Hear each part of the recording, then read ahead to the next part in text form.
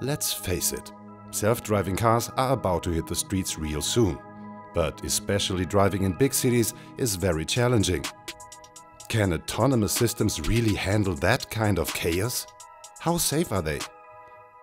Could it be wiser to entrust my life to an autonomous car than believing in the skills of an Uber driver? Who is the better driver, man or machine? Most experts agree that in the future, autonomous systems will be much safer. Okay, but why exactly? And how do autonomous cars work? That's what we asked scientists at Berlin's Fraunhofer Institute for Open Communication Systems, in short, FOKUS. A fitting acronym, as focus is what really matters in traffic. Dr. Ilja Radusch is Director of Business Unit Smart Mobility at FOKUS. He gave us the chance to see firsthand how an autonomous car works, and in this case, a very fancy one as well. The people at FOKUS equipped this sedan to be able to drive autonomously, with the aim of gathering training data for autonomous driving systems. In spite of COVID-19 restrictions, Dr. Radusch let us have a look into the brain of a self-driving car. Dr. Radusch, thank you so much for having us. If you had to answer in one word, who is the better driver, man or machine? Now the man, later the machine. What could be the advantages of autonomous systems uh, over a human driver? The human driver can get tired and he can get distracted uh, by anything outside or inside the car. And the good thing already now is that the machine is never sleeping, is never getting tired, is never getting distracted.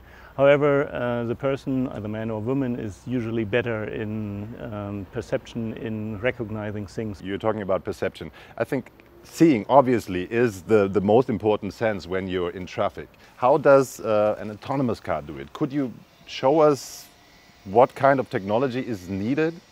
Indeed, I can show you that. Uh, camera is the most obvious. Additional two camera, a LiDAR system that we see up there. Uh, that's, the, that's the LiDAR system. That's here. the LiDAR system and it's um, generating 3D model 3D points uh, by rotating. The LiDAR system can see all around all the time. LiDAR is an acronym for Light Detection and Ranging. Very simply put, it's a technology that uses laser light to measure distances. In autonomous cars, LiDAR is used to create 3D models of the car's current surroundings. Many developers of self-driving cars rely on the technology, with one prominent exception, Tesla's Elon Musk. But more on that later. How, how far does it see?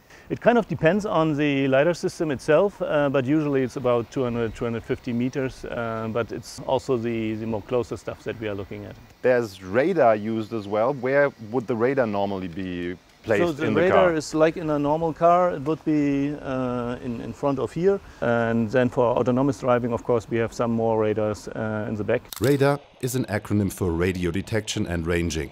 While it is already used in cars for so-called autonomous driving assistance systems, many experts doubt the technology is accurate enough for fully autonomous cars. The camera, where is that one?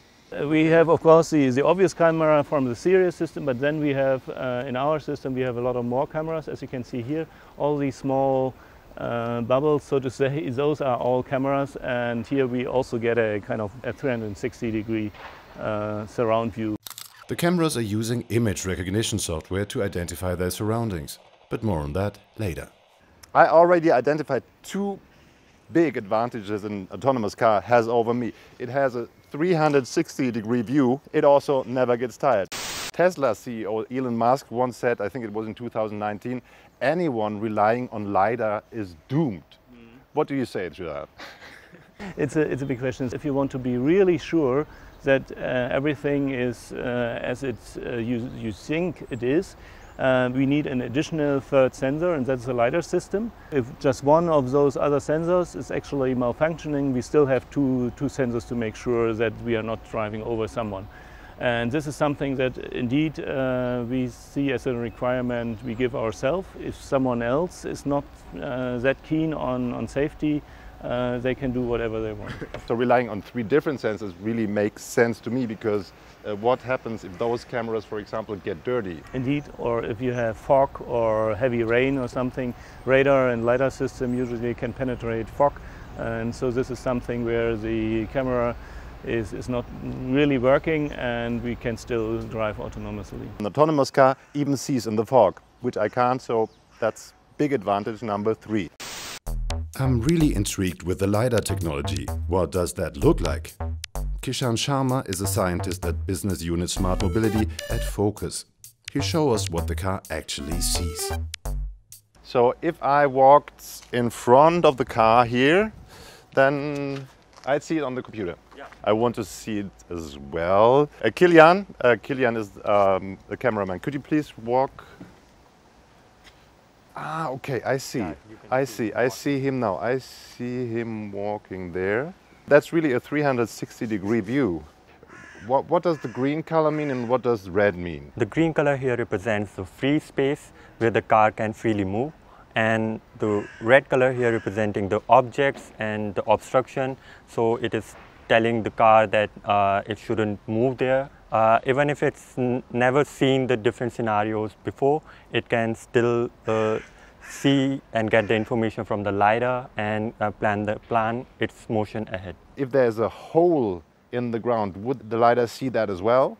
Yeah, the LiDAR has, it has 10 degree of uh, field of view in the up direction and the 30 degree of view in the downward direction. So it can see if there is a hole or pothole in the road. How do you teach the car what the red parts are? How does it know it's a human or this is a bike? For this we use AI-based self-learning algorithm which consists of millions of parameters to detect the other traffic participants.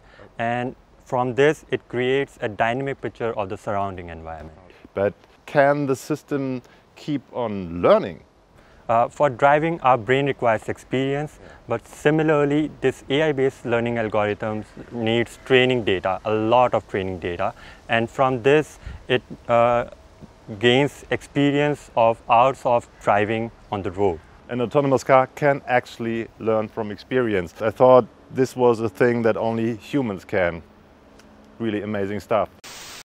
Another big plus of autonomous cars for me, autonomous parking. I still don't understand exactly how autonomous cars recognize the objects around them. Bernd Scheufele is Senior Scientist at Business Unit Smart Mobility at Focus. He'll tell us. Also wir haben LIDAR, wir haben ein Radar, wir haben verschiedene Kameras. Wie kommen denn diese ganzen Daten zusammen? Wie sieht denn das Gehirn von einem autonomen Auto aus? Ja, dazu schauen wir mal in den Kofferraum. Wir haben hier sehr viel Technik drin. Wir haben hier mehrere Computer, die alle sehr starke Grafikkarten haben. Diese Grafikkarten nutzen wir, um die Daten auszuwerten.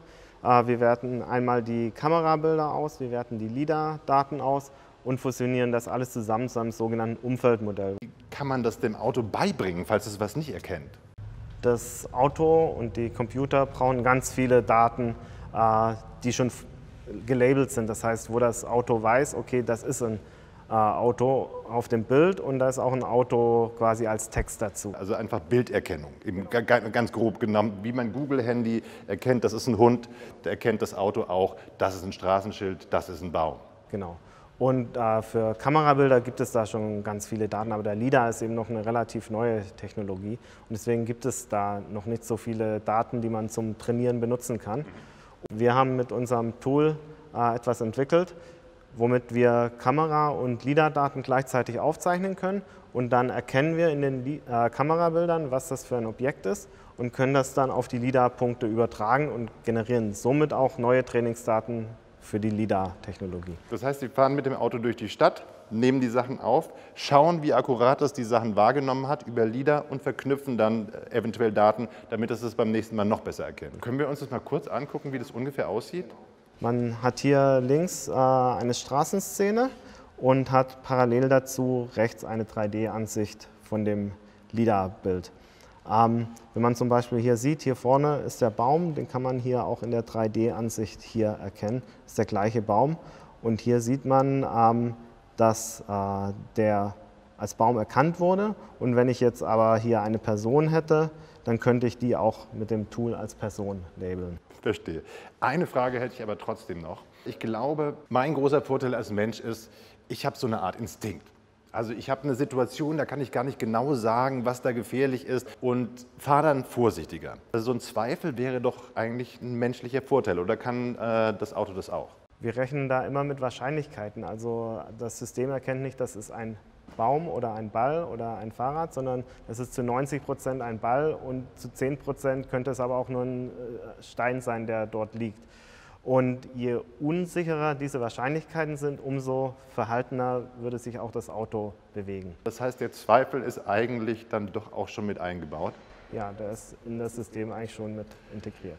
Not even my instinct is a big advantage I have over the autonomous car. It's really a bit depressing.